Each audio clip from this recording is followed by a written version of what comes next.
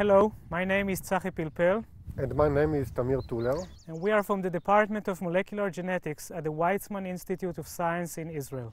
A major challenge for living organisms is to produce their proteins as efficiently as possible. In a new study, which is now published in Cell, we discovered a novel design element of biological protein coding sequences that may allow to maximize efficiency of production by reducing the consumption of energy uh, and raw material and increasing productivity.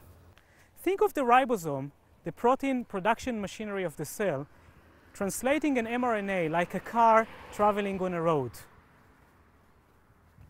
During the process, the ribosome recruits tRNA molecules that bring in the right amino acid in order to produce the protein during the process.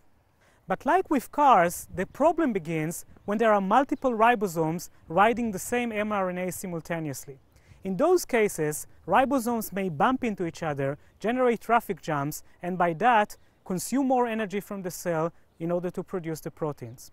Humans came up with a solution to this problem in the traffic context when they invented traffic lights that attenuate the entry of cars into the highway and allowing a free flow of cars that have already entered into the highway. By computational analysis of dozens of fully sequenced uh, genomes, we found out that biology came up with a similar solution in order to optimize the process of production. We found that especially in the case of highly expressed proteins, in order to attenuate the ribosomes at the beginning of the transcript, there is a strategic choice of codons that correspond to rare tRNAs at the 5' end of protein of genes, which is then gradually shifting into codons that correspond to more abundant tRNAs towards the end of the transcript. As you can see in this movie prepared by co-author Sivan Navon, we discovered that the start of the mRNAs is recognized by rare tRNA molecules. This causes the ribosomes to slow down as it takes time for the rare tRNAs to arrive at the ribosome, causing a minimal roadblock. The section of mRNA beyond this initial roadblock corresponds to more abundant tRNAs that allow the ribosome to proceed more efficiently without any interruptions.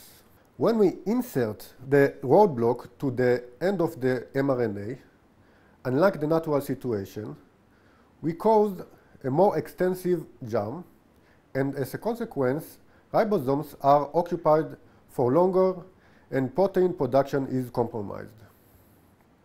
Our results show that this design is conserved in evolution and that it was repeatedly discovered among species that span all the range from bacteria to human.